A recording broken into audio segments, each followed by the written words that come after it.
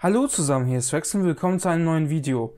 Wir unboxen heute schon wieder einen Controller und zwar den Nintendo Switch Pro Controller.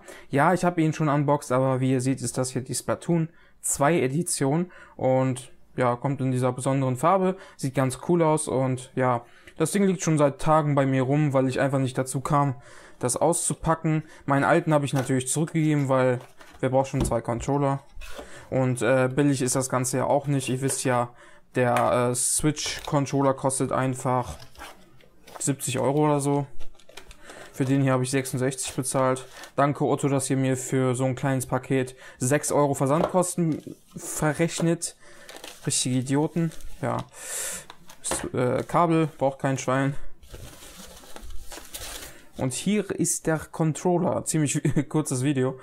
Aber ich wollte ihn trotzdem mal zeigen, weil kann ja sein, dass viele das nicht mitbekommen haben. Wie ihr seht, ist hier ein cooles äh, Splatoon-Muster drauf mit allen verschiedenen Sachen aus dem Spiel. Äh, ja. Blöde Folie. So, und äh, hinten auch. Ist immer noch durchsichtig, dieses Plastik halt, mit dem Muster dann drauf. Sehr cool. Fühlt sich genauso geil an wie der alte, den ich hatte. Das D-Pad fühlt sich minimal anders an. Ich frage mich ernsthaft, ob Nintendo das gefixt hat, weil ein paar Leute haben sich ja darüber beschwert, dass das falsche Eingaben gemacht hat. Zum Beispiel also nach oben gedrückt und der hat auch gleichzeitig nach rechts gemacht. Das waren die Leute wahrscheinlich, die so gedrückt haben oder so. Also so gewackelt. Aber keine Ahnung, das weiß ich nicht genau. Sieht auf jeden Fall cool aus, dieser Controller. Und falls ihr im Hintergrund den PC hört, tut mir leid. Das Ding hält schon wieder nicht die Fresse und überhitzt. Wie verrückt. Naja. Cooler Controller ist immer noch meiner Meinung nach einer der besten Controller. Inzwischen finde ich es aber echt schade, dass sie hier keine analogen Trigger eingebaut haben.